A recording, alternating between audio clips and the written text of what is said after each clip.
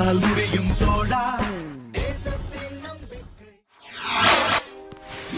பொதுப்பணித்துறை சார்பாக நீர்நிலை புறம்போக்கில் உள்ள மீள் குடியேற்ற பயனாளிகளுக்கு குடியிருப்பு வீடுகள் வழங்கும் நிகழ்ச்சி அமைச்சர் காமராஜ் தலைமையில் நடைபெற்றது.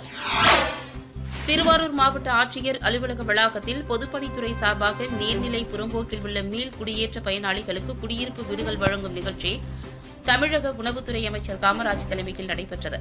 இந்நிகழ்ச்சியில் நூற்று ஐம்பத்தி ஆறு பயனாளிகளுக்கு பதினான்கு கோடியே எண்பத்தி இரண்டு லட்சம் மதிப்பீட்டில் கட்டப்பட்டுள்ள வீடுகளுக்கான சாவியை அமைச்சர் வழங்கினார். இந்நிகழ்ச்சியில் மாவட்ட ஆட்சியர் ஆனந்த் மாவட்ட வருவாய் அலுவலர் பொன்னம்மாள் பொதுப்பணித்துறை செயற்பொறியாளர் முருகவேல் உள்ளிட்ட அரசு அலுவலர்கள் கலந்து கொண்டனர். இதனைத் தொடர்ந்து செய்தியாளர்களை சந்தித்த அமைச்சர் காமராஜ் கூறுகையில் காவிரி டெல்டா பகுதியில் இருக்கிற பெண்ணாறு உப வடிநிலத்தை தட்பவெப்பநிலை மாறுபாடுகளுக்கு ஏற்ப மேம்படுத்துதல் அதாவது நம்முடைய மழை காலங்களில் தண்ணீர் வீணாகாமல் பாதுகாப்பது. அதே போல் கடல் நீர் உள்ளே வராமல் தடுப்பது. இதை போன்ற நடவடிக்கைகள் இன்னும் கரைகளை மேம்படுத்துதல்.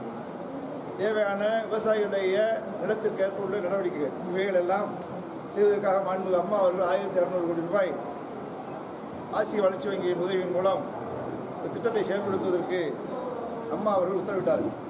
அது தொடர்ந்து நடந்து கொண்டிருக்கிறது. அதில் ஆறு ஆறுகள் முதற்கட்டமாக ஆறு ஆறுகள். இந்த பகுதியில் இருக்கிற திருவாரூர் மாவட்டத்தில் நாகப்பட்டினம் மாவட்டத்தில் இருக்கிற ஒரு பகுதி என்கிற ஆறு ஆறுகள் மேம்படுத்துவதற்காக தொள்ளாயிரத்தி அறுபது கோடி ரூபாய் செலவில் பணிகள் எடுக்கப்பட்டு கிட்டத்தட்ட பாதி பணிகள் முடிவடைந்திருக்கிறது.